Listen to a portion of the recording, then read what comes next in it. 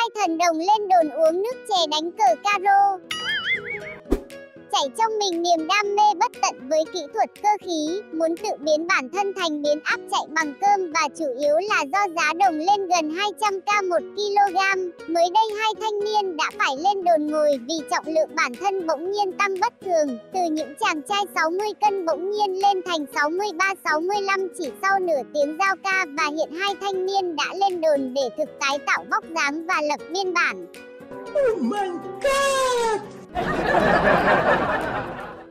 Nóng quá cuốn dây đồng để tản nhiệt. Tôi năm nay hơn 70 tuổi mà tôi chưa gặp cái trường hợp nào mà nó như thế này cả. Dạ thần đồng nát ạ. Cảm động hình ảnh chủ thầu cuốn đồng giúp hai nhân viên tránh thương tổn cuộc sống khi làm việc trong công trường. Wow! Mình đồng ra sắp là đây. À thế à? Thợ săn ống đồng.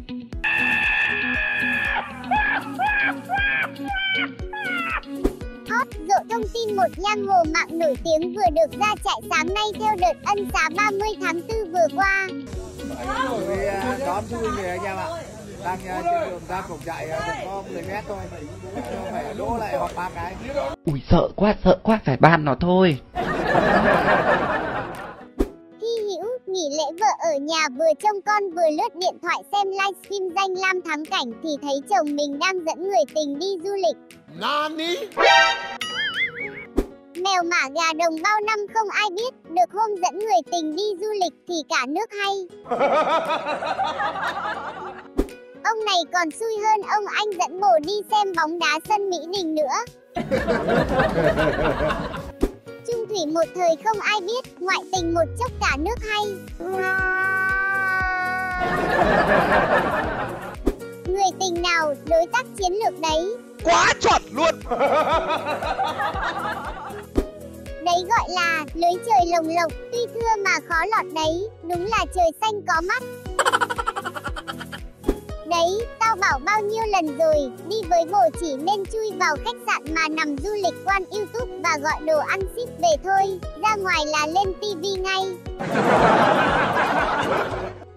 Giống con bạn mình ngày xưa xem livestream trên phố đi bộ Hồ Gươm lòi ra người yêu đang đi với gái, cười ỉa. Giờ mình mới hiểu tại sao lúc đi du lịch cứ cầm máy ảnh lên quay và chụp thì nhiều người cứ tránh mặt đi. Đó là những biểu hiện của sự lươn lẹo. Chỉ cần bạn sống đủ lâu thì bạn có thể nhìn thấy đủ loại chuyện không ngờ đến. ở đâu Các bạn đang theo dõi bộ phim dài tập mang tên Cuộc tình ngang trái. Tập 1, vợ phát hiện chồng có trà xanh khi xem qua livestream. Tập 2, hóa giải cơn ghen khi chồng nói đi du lịch với Steve. Tập 3, cô vợ phát hiện dòng tin nhắn mùi mẫn với gái lạ. Tập 4, anh chồng hóa giải mọi thứ khi thuê một thanh niên tự nhận là chồng cô gái kia. Tập 5, cô gái trà xanh tìm đến nhà để gặp cô vợ. Tập 6, lộ ra thế khủng của cô trà xanh. Tập 7, cô vợ tá hỏa khi biết cô Tiểu Tam đã mang thai 3 tháng. Tập 8, cô B continue, liệu cô vợ có phát hiện trà xanh không? Liệu anh chồng sẽ xử lý như thế nào để biện minh? Liệu trà xanh có để yên gia đình cô vợ không? What the hell? Lấy chồng phải hơn nhất 6 tuổi thì còn được chiều chuộng, lấy chồng bằng tuổi hay hơn 1-2 tuổi thì chỉ có lường suốt ngày thôi. What the hell? Chồng tao hơn 6 tuổi vẫn lườm bình thường nhé. Lấy chồng hơn 11 tuổi vẫn tranh nhau con gấu bông nhé. ở đâu Chồng mình hơn hẳn 12 tuổi, đúng là chẳng bao giờ lườm quýt nhau, chỉ đấm nhau thôi. 29 tuổi đầu mà có con trai cả 33 tuổi, nghĩ nhọc.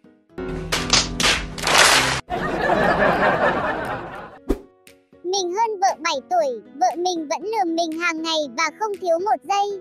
Hả? Hơn 6 tuổi đây mà nhiều lúc tưởng mẹ của ba thằng con. 7 tuổi còn đang sống cuộc đời chị em đây, 20 tuổi đi thì hãy mong chiều chuộng. bảo mày thế, chồng tao hơn tao 2 tuổi có mấy khi lườm tao đâu, toàn mồm chửi, tay đấm, chân đá thôi. Ui sợ quá sợ quá phải ban nó thôi Con trai nên yêu các chị vì các chị biết chiều vỗ mông biết đổi tư thế, các chị cũng nên yêu các em vì các em trả bài đầy đủ không trốn học. Tao lấy vợ hơn tuổi, vui thì em yêu anh, lúc cãi nhau thì thằng danh con này.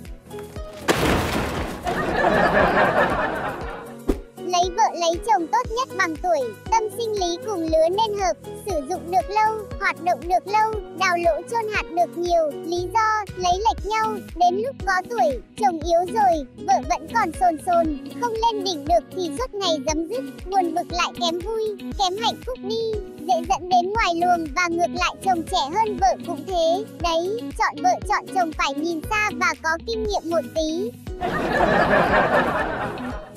Thí sinh Olympia gục ngã trước câu hỏi đơn giản này. Một ngày kim giờ quay mấy vòng?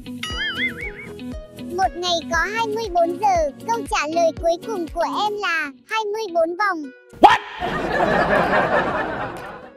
Em ngồi canh đồng hồ nhà em 24 tiếng thấy quay có hai vòng thôi các bác ạ. Tin em đi em thề không chợp mắt tí nào luôn. What the hell? Một ngày có 24 giờ tất nhiên kim giờ sẽ quay 24 vòng rồi, có thế mà cũng không trả lời được. 24 vòng là 12 ngày à? Thì đúng mà ông, một ngày quay 24 vòng, và hết một ngày chúng ta già đi 12 tuổi. Ý bạn là cái này phải không? Ngồi canh đồng hồ 24 tiếng thấy quay có hai vòng thôi các bác ạ. À đầu Theo em thì là hai vòng, nhưng vì là người thích vòng 3 nên đáp án cuối cùng của em là ba vòng ạ. Trời ghê chưa? Nhà em dùng đồng hồ số nên kim giờ không quay vòng nào. À thế à? Mình thì không fan ai cả, nhưng mình thấy nhạc của Sơn Tùng không hay bằng rách, lời toàn tiếng Anh, âm thanh đau đầu, còn nhạc rách thì đúng chuẩn tôn Việt lời Việt, nhạc sôi động dễ nghe. Nhạc của rách thì quá hay rồi, chất giọng rách cũng đỉnh cao hiếm thấy tại Việt Nam. Những MV của Jack cũng được trau chuốt đầu tư đẹp đến kinh ngạc. Mỗi lần Jack ra MV mới chưa cần xem hay nghe. Việc đầu tiên là tôi phải đăng nhập vào 10 cái tài khoản Google để dislike cho MV của Jack đã.